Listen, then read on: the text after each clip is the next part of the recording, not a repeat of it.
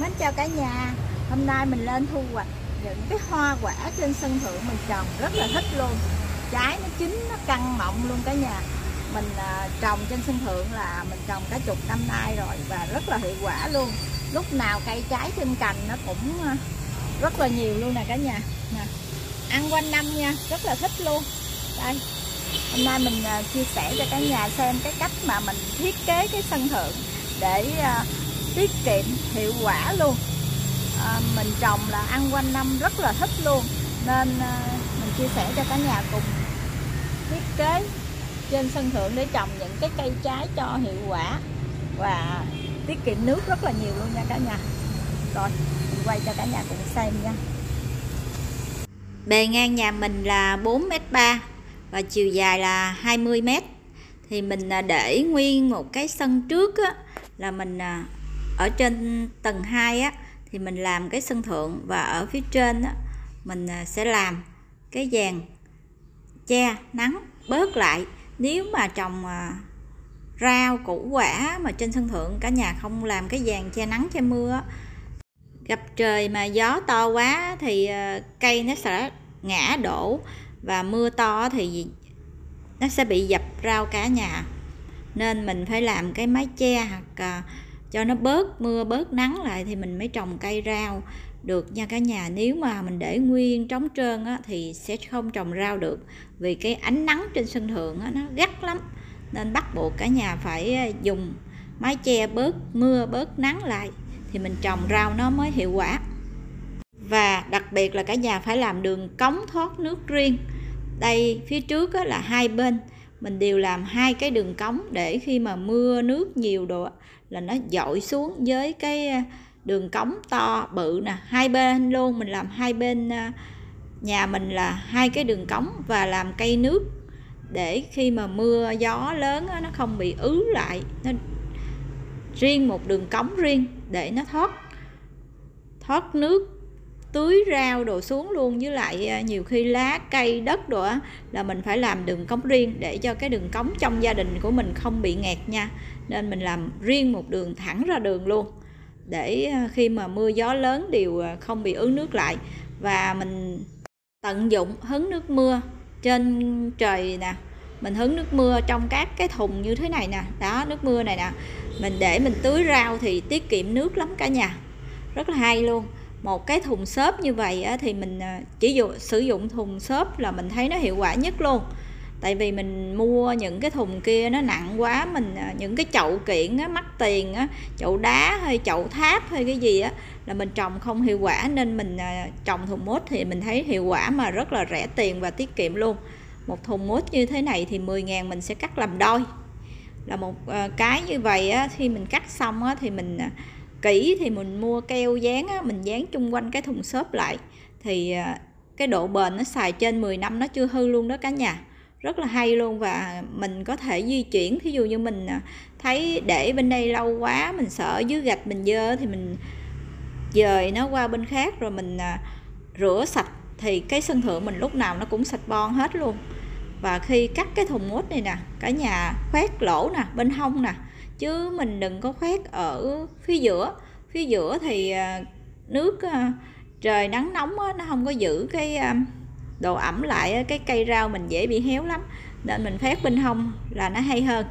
Còn hai bên hông thì mình xây cao lên tầm khoảng một mét đi cả nhà, thì nó tiện hơn.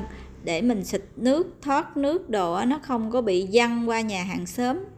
Rồi cây lá đồ hoa nó không bị rụng lá, làm phiền người ta. Tại vì mình trồng rau như vậy nè, mình xịt nước là nó văng dữ lắm, mình xịt nước tưới á, nó văng qua nhà hàng sớm thì phiền lắm. Nên mình à, cũng không có muốn làm phiền người ta, nên mình phải trồng rau là mình trồng trên cao á, mình dễ làm phiền người ta lắm. Là do lá cây, rồi xịt nước nó văng lên nóc nhà người ta, nên mình à, làm á, mình xây lên cao. Nhưng mà mình đừng phát lỗ, còn nhà mình là phát lỗ rồi, nên mình phải lấy đồ mình che lại luôn đó cả nhà còn trồng à, rau hoa quả thì mình à, chọn những cái cây hoa. Thí dụ như hoa giấy nè hoa giấy nó rất là chịu nắng luôn và hoa nở quanh năm.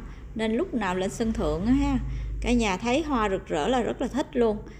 À, mình trồng rau á, để mình xả stress luôn cả nhà mình à, những lúc nào mình bực bội hay gì á, mình lên mình nhổ cỏ mình cũng thấy nhẹ nhàng luôn. Ai chọc tức mình hay gì á, thì mình lên cắt mấy cái gai này nè mình cắt bỏ hết. Rồi mai mốt hoa mình đẹp hơn thôi chứ không có rất là có lợi luôn. Nên mình thấy trồng rau trên sân thượng là rất là hay. Vừa xả stress và vừa có rau ăn và tiết kiệm luôn. Trời mưa thì hứng nước mưa lại tưới. Nên rất là đỡ tốn tiền luôn á cả nhà. Còn à, rau thì mình trồng á nhiều loại rau ăn á, quanh năm á nó rất là hiệu quả luôn. Cả nhà mua thùng xốp á, là khoảng 10 đến 15 ngàn một thùng to. Mình à, sẽ cắt ra làm đôi để mình làm những chậu rau nó rất là hiệu quả luôn. Rồi à, mình mua ở những cái chỗ người ta bán đồ biển á người, người ta bỏ ra nó rất là rẻ. Hoặc là trái cây á, cái nhà vừa trái cây á là những thùng xốp này nhiều lắm người ta sẽ bỏ không à. Người ta bán giá rất là rẻ luôn nên cả nhà mua lại rất là hiệu quả rẻ tiền tiết kiệm luôn. Còn mình trồng rau quả trên sân thượng á, thì cả nhà nên chọn những cái cây nào chịu được nắng nóng mà nó cho những cái quả trái thường là quanh năm thì mình nên trồng. Còn mà mình trồng những cái loại cây trái mà nó chậm trái chậm hoa thì thường mình đừng có trồng cả nhà. Mình thích trồng thanh long lắm cả nhà tại vì mình trồng cây thanh long á, là mình thấy năm nào á, trái nó cho rất là nhiều và ăn rất là ngọt luôn. Nên mình trồng ở phía trước và ở phía sau luôn. Trong rất là thích thu hoạch thì năm nào cũng thu hoạch rất là nhiều quả luôn mà thường một lần nó cho hoa cho quả là ba đợt một năm gì đó nó cho ba đợt nên mình rất là thích. Trái nào trái nấy ha nó ngọt ngay luôn nè. Mình trồng là nó căng bóng nó nứt ra ăn rất là ngọt luôn. Ở ngoài mua cũng không bằng luôn. Tại vì mình trồng mà không có phân thuốc á nên mình rất là thích luôn. Trồng cây á, thì thu hoạch hiệu quả chất lượng á, thì à, tuyệt vời. Và chăm sóc á, thì rất là ít công chăm sóc nha cả nhà mà phong thủy thì rất là tốt luôn. À, cây à, thanh long á và đặc biệt là cái hoa giấy á là nhà mình trồng là đủ màu sắc hết trơn cả nhà. Hiện tại thì mùa này thì mình à, ít chăm nên bông nó hơi ít nha nhưng mà màu nào cũng có hết. Trên sân thượng mình á, là mình à, tập trung rất là nhiều loại hoa giấy khác nhau lên sân thượng. Rất là thích luôn màu sắc nè cả nhà màu cam màu hồng màu tím gì cũng có hết rất là mê hoa giấy luôn cả nhà. Tại vì à, cây hoa giấy tính ra là phong thủy cũng rất là tốt luôn. Và cái cây chăm sóc thì à, rất là ít mà hoa thì lại rất là đẹp rực rỡ luôn. Nên mình trồng rất là nhiều loại hoa giấy luôn. Và đặc biệt cả nhà nên trồng một cây lụ. Cây lụ này á, là trái và hoa quanh năm. Hoa thì nó rực rỡ và phong thủy cũng rất là tốt luôn còn trái nè hoặc là lá lụ hoặc là trái lụ non đều làm bài thuốc trị bệnh. Nhất là cả nhà nào mà bị đau dạ dày hay tiêu chảy á, là mình sử dụng lá lụ hoặc là trái lụ non đều ờ, trị bệnh rất là hay luôn cả nhà. Nhà mình thì mình thích trồng lụ lắm nên mình trồng mấy cây đăng nhìn thấy mê lắm cả nhà mình trồng cây trái mà nó ra quanh năm á mình thích lắm. Lúc nào lên mình cũng thấy hoa quả rực rỡ hết trơn á. Hoa lụ á, là nó màu đỏ rực à nhìn rất là thích luôn. Trái lụ cũng vậy nữa nếu mà không mắc mưa thì trái lụ nó sẽ bóng đẹp lắm. Và cả nhà nhớ là trồng thêm một bụi lá dứa nha. Lá dứa này thì mình à, có thể làm nước uống làm bánh nấu cơm bỏ lá dứa vô rất là thơm luôn đây là cây giống lụ thái đó cả nhà trái nó rất là sai luôn. Chứ không phải à, lụ urina và lụ nga đâu nha. Trái nó là banh xác luôn ở ngay cả nhà. Nên mình chỉ trồng có hai giống lụ đó là lụ thái và lụ lùng ấn độ. Mà trái nó thôi nhìn mê lắm cả nhà. Một cây nó là ra mấy chục trái luôn mà và quanh năm lúc nào cũng có trái hết trơn á. Nhìn thích lắm tuốt trên đọt cũng có trái nữa. Đó còn bên này là hoa giấy, chỗ nào mình cũng trồng giấy nhiều lắm.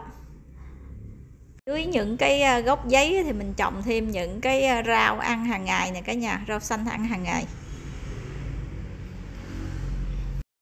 Còn phía sau thì mình cũng à, làm thêm một cái sân thượng nhỏ để mình trồng hoa kiển, nhưng mà mình cũng làm hệ thống thoát nước và cây nước để mình tưới cho nó tiện ở trên này thì mình trồng thêm à, cái dây nhãn lồng. Để mình khi nào mất ngủ thì mình hái dây mình nấu nước mình uống luôn nha cả nhà. Còn đây là cái dây thanh long. Ở trước sau gì mình cũng thích trồng lắm. Trái nó rất là nhiều. Tới mùa nó ra, đợt này là đợt cuối rồi. Nên nó chỉ còn có 5 trái à hoặc thêm một đợt nữa. Nhiều khi nó ra cũng bốn đợt nữa đó cả nhà. Đó, chắc cái dây này là đợt cuối rồi. Dây trước thì còn thêm một đợt nữa. Dây sau này là nó hết rồi đó năm trái luôn. Chín rực, rất là thích luôn. Đó. Trái nhân lòng nó chín xen canh với cái trái thanh long. Trái nhân lòng ăn cũng rất là ngon luôn nha cả nhà. Cái vườn sau này là mình trồng à, rất là nhiều loại hoa giấy luôn. Mùa này thì hởm gài mưa nên hoa nó ít lắm. Đủ loại hoa giấy trơn nhưng mà bông nó chỉ lác đác thôi và mỗi cái chậu hoa giấy như thế này nè nhiều khi mình xen canh mình trồng thêm những cái cây ớt hoặc là những cái à, chậu à, bầu bí ở cái nhà. Mình trồng vô cái chậu hoa giấy á, đều thu hoạch được hết à. Cái này mình à, cắt mình thu hoạch nè. Trông rất là thích luôn. Thanh long á, chăm sóc thì ít mà thu hoạch á, thì ngon ngọt nên rất là khoái luôn cả nhà. Nè, trái tròn lẳng thích lắm làm giống trồng rất là dễ luôn. Cây thanh long là trồng dễ nhất luôn đó. Nên mình trồng rất là nhiều. Đó, thu hoạch đó. Thấy mê không? Bữa nay mình thu hoạch cái dàn sau nó bốn trái, một trái mình để dành cho chim ăn. Mình chừa lại một trái, mình không có hái để cho nó nứt tét ra rồi cho chim đồ nó lại nó ăn. Tại chỗ này là chim hay làm tổ lắm cả nhà. Nên mình để dành cho chim nó ăn luôn. Này là ở phía sau sân thượng đó. Này là đủ loại hoa giấy á này, hoa giấy mỹ, màu hồng. Thường là trồng cây trái hay rau củ quả, cả nhà nên chia hoặc là bán lại. Còn mình thì mình không có bán, tại vì à, do là mình có cái nghề nghiệp ổn định nên mình không có bán. Và mình thường là chia cho hàng xóm ăn cho vui. Nhất là rau á, mà cả nhà trồng rau, mà cả nhà để cho nó già quá thì uổng lắm.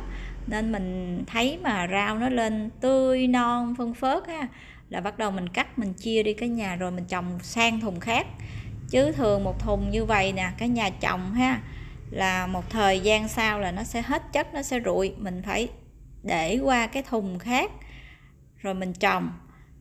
Mình trồng hai loại rau khác nhau rồi mình máy trồng lại loại đó nữa thì mới được. Chứ không cả nhà trồng một loại rau trong một thùng xốp á, thì nó sẽ bị rụi và tàn và ngoài ra lâu lâu cả nhà để một hai chậu nó trống để nó phơi đất để nó sạch um, sâu bệnh độ thì trồng lại rau nó mới rất là tốt nha. Chứ mình trồng trong một chậu hoài á, là cái chất rau á, nó hút sạch cái chất uh, dinh dưỡng đó rồi cái bụi rau mình nó cũng bị rụi nữa. Nên mình phải trồng thay đổi luân phiên thì nó hay hơn đó cả nhà. Rồi mình uh, xin uh, cảm ơn cả nhà đã xem và mình xin kính chúc cả nhà vui, khỏe, may mắn, an lành và luôn thành công trong cuộc sống.